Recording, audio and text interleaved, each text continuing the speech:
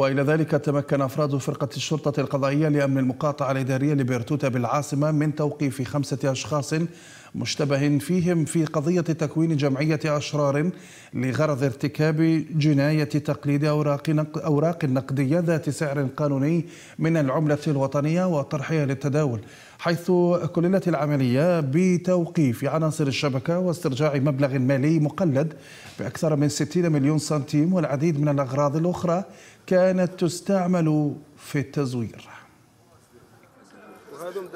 كللت هذه العملية من توقيف جميع المشتبه فيهم واسترجاع مبلغ مالي مقلد بأكثر من 60 مليون سنتيم. ذات أوراق 2000 دينار و1000 دينار. دراجة نارية من نوع سيم آلتي طباعة متطورتين نوع إبسون وكانون متعددة الوظائف.